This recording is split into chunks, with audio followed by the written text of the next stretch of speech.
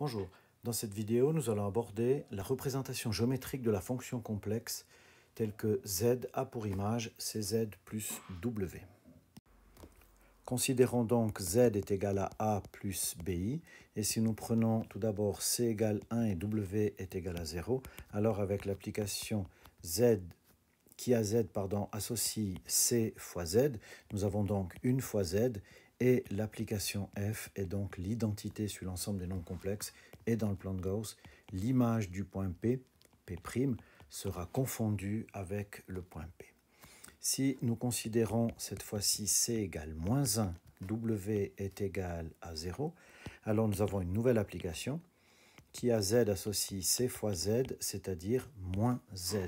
Alors, dans le plan de Gauss, si Z est égal à A plus BI, le point P d'affixe Z est de coordonnées AB, à ce moment-là, le point P d'affixe, le point P' pardon, d'affixe moins Z est donc de coordonnées moins A moins B. Et la transformation géométrique qui permet de passer de P à P' est une symétrie centrale centrée à l'origine. Il peut donc s'agir d'une homothétie centrale origine de rapport moins 1 ou d'une rotation de centre l'origine et d'angle 180 degrés ou pi radian. Considérons un autre cas particulier en prenant euh, z est égal à a plus bi, nous gardons c égale 1 et nous prenons w qui est un nombre complexe de la forme w est égal à m plus ni. Donc f qui a z associe z plus w va correspondre en fait, si j'ai ici le point P d'affixe z, donc de coordonnées A, B, j'ai ici quelque part le point euh, D d'affixe W, donc M plus NI. À ce moment-là, l'image Z plus W sera le nombre complexe A plus M plus B plus N fois I. Donc géométriquement, il nous suffit de reporter le vecteur OD, c'est-à-dire le vecteur V de composante M, N en prenant M la partie réelle du nombre W et N la partie imaginaire. Nous reportons ce vecteur à partir de P et nous obtenons le point P' d'affixe Z plus W, le point P étant d'affixe Z. Donc euh, la transformation est à ce moment-là une translation de vecteur V. En prenant cette fois-ci Z est égal à ρ 6 phi et en prenant C qui est égal à lambda quelconque qui appartient à R, donc pour étendre un petit peu plus le cas particulier précédent, alors nous avons le point P donné par ρ 6 phi, point P d'affixe Z. Alors, avec l'application F qui a Z associe euh, C fois Z, c'est-à-dire lambda fois Z, donc nous obtenons lambda ρ 6 phi, et donc il nous suffit de multiplier par lambda. Si nous avons lambda qui est ici, alors nous pouvons relier 1 avec P et lambda avec l'image par des parallèles pour obtenir ici le point P'. Euh, l'argument ne change pas, seul le module change, ce qui fait que nous avons ici une homothétie centrée à l'origine et de rapport lambda.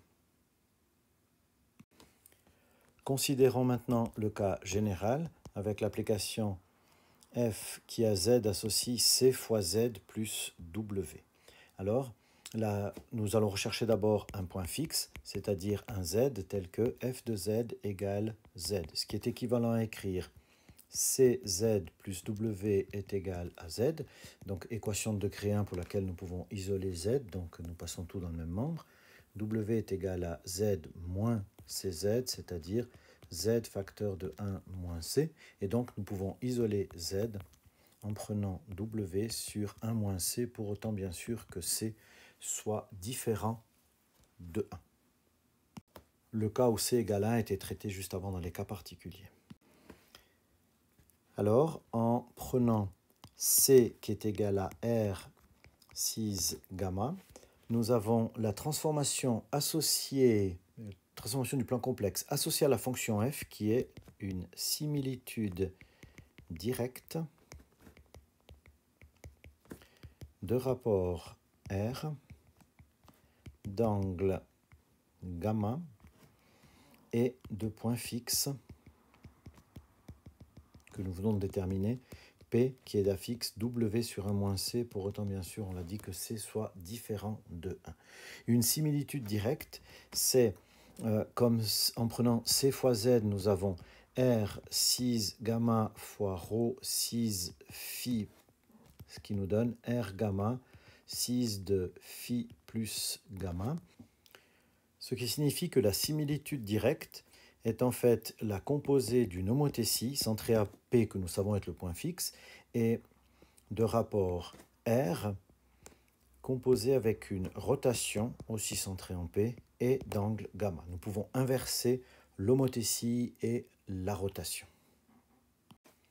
Et donc nous retrouvons maintenant deux cas particuliers. En l'occurrence, si W est égal à 0, alors le point fixe d'affixe W sur 1 moins C est en fait l'origine à ce moment-là, euh, l'origine du plan de Gauss.